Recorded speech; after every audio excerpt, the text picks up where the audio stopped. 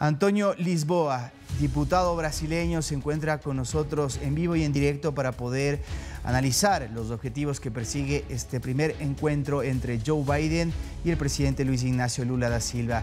¿Qué tal, Antonio? ¿Cómo está? Muy buenas tardes. Gracias por estar con nosotros. Buenas tardes. Eh, primero, hacer una pequeña corrección.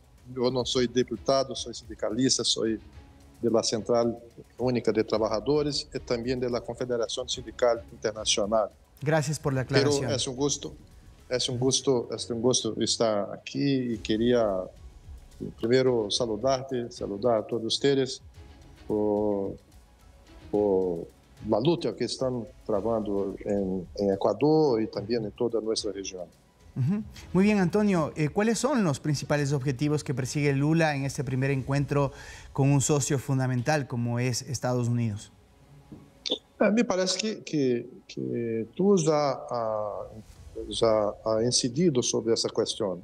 Me parece que la primera cuestión, el primer desafío del de, de nuevo gobierno de Brasil, el gobierno Lula, es, como, como se dice, poner el país en, en en el juego global, uhum. porque todos nós sabemos, e penso que tu também sabe, que durante os governos de, de Lula, especialmente os dois governos de Lula, eh, de 2003 a 2010, e depois com o governo de Dilma, eh, Brasil ha eh, hecho um trabalho muito forte de para se inserir em los temas globais uhum. na construção da paz, na defesa dos direitos humanos, na defesa do planeta, de, eh, eh, trabalhar contra o câmbio climático, por as questões ambientais, as questões laborais, a inclusão social.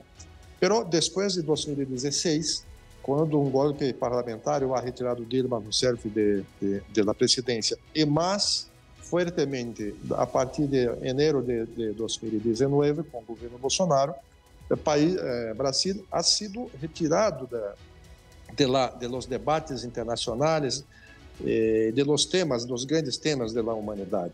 Bolsonaro eh, ha ponido o Brasil em uma, em uma, ao costado de, de, de, de todos os temas eh, reales e importantes da humanidade. Es decir, Entonces, pe pe perdió protagonismo en la escena mundial. Sim, como não, como não, a partir do período total protagonismo, porque Bolsonaro com sua política de extrema direita eh, ha resolvido eh, trabalhar contra um, uma tese que eu chamava de globalismo, que não, não se sabe muito bem o que se trata, pero eh, ha trabalhado com a tese de que teria que se, se costar ao lado de, de las organizações multilaterais, de los foros internacionais e ha elegido dois ou três países eh, que, tem, que tinham políticas e estratégias similares a deles uhum. para eh, eh, para hacer política internacional. Claro, se limitó a ese Entonces, espectro. Ahora, eh, con respecto a lo que vivió eh, a inicios del mes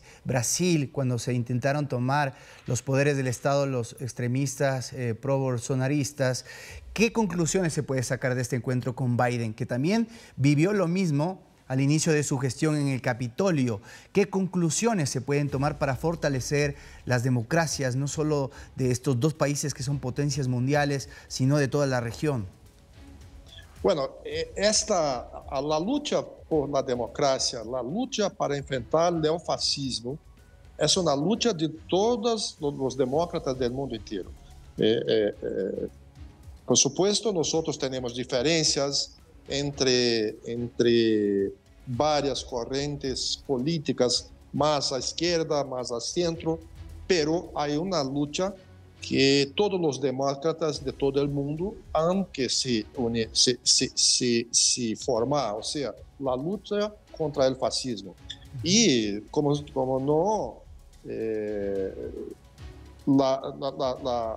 eh, os eventos de, de Capitólio que se han repetido em Brasil são um exemplo claríssimo de que há, que se há diferenças geopolíticas, eh, diferenças políticas, diferenças eh, econômicas, de como se enfrentar as crises econômicas, por exemplo, mas há uma questão que certamente todos os democratas de todo o mundo a se unir, que é a luta contra a extrema-direita. Então, uhum. este, sem dúvida nenhuma, vai ser um dos principais assuntos, um dos principais temas de Lula com Biden, que é como se fortalecer as democracias, como se fortalecer a, liberdade contra este tipo de ação de extrema-direita, como ha ocorrido em, em Estados Unidos, e que, por eh, influência de, de Capitólio, os bolsonaristas disseram em Brasil, tentando dar um golpe de Estado em Brasil. Agora, Antonio, Brasil... un, un, tema no menor es el tema de la deforestación de la Amazonía, en donde eh, de alguna forma Bolsonaro dio carta libre para que las empresas puedan talar y ya vemos las repercusiones. Lo vivimos, por ejemplo, en Chile. Esto es un tema que debe tomarse con mucha seriedad, más aún por eh, dos potencias mundiales como lo son Brasil y Estados Unidos. ¿Qué lecciones o qué cooperación se puede sacar para poder salvar a ese pulmón del mundo? É, sem dúvida, este é também um outro ponto muito importante. Me parece que a questão de, los direitos humanos, de las, da, da democracia, a questão de Amazônia, a questão eh, de os problemas de, relacionados a, a câmbio climático são os temas principais da agenda de Lula com Biden. Uhum. Como vocês sabem, estamos preparando para para eh, a COP de Belém, da COP de Brasil, eh, para o eh, ano eh, seguinte. E uma ideia que já temos informação em Brasil é criar uma organização de estados da Amazônia, ou seja, estados de países da Amazônia, que se, se que nós outros de Brasília, vocês Bolívia, Peru, é, Venezuela, Colômbia, Suriname, etc. Ou seja, uma das coisas que estamos, coisas que estamos já trabalhando é se criar um organismo é, de proteção da Amazônia uhum. é, com uma articulação institucional de todos os países que estão em la en, la, en las, las circunstancias de, de, de, de, la Amazônia. Então, este é um ponto muito importante e certamente é um ponto que vai à la mesa en los encuentros. Y, Antonio, no quiero eh, desaprovechar la presencia tuya para preguntarte sobre la relación comercial. Eh, ¿Qué retos hay, qué temas pendientes para poder propiciar un intercambio comercial con una balanza equilibrada para Brasil? Bueno, nosotros eh, sabemos que Brasil e especialmente no governo eh, Lula vamos a buscar, como em, los outros governos, uma eh, relações comerciais com Estados Unidos, com Europa, pero também fortalecendo a integração regional e as relações comerciais com a América Latina e Caribe, com a África, com a Ásia, etc. Então, para nós, as relações comerciais com os Estados Unidos são muito importantes, sempre lo. Então, esse é um ponto também importante, ou seja, eh, se fazer eh, para que Brasil e Estados Unidos possam cambiar né, informações, cambiar tecnologias, sem deixar de que eh, Brasil possa, eh, tener eh, avance em suas tecnologias, em seus, seus trabalhos de pesquisa, em las academias, em las universidades e fortalecer a indústria nacional. Pero uhum. é importante, como sempre foi, uma relação comercial, fortalecer uma relação comercial de Estados Unidos com o Brasil, assim como é com os países de América Latina, com, com Europa, com China, etc. Eh, de acuerdo a la política de Lula, ¿piensas que no se podrá avanzar tal vez en un tratado de libre comercio, pero sí en un acuerdo comercial? No está en la pauta, no está en el horizonte un tratado de libre comercio Brasil-Estados Unidos, o mismo un tratado de libre comercio Mercosul-Estados Unidos. Por supuesto, no hay, no, no, no, si este punto eh, venga la mesa, eh, há que se, que, se, que se debater, mas isso não está na estratégia de Brasil.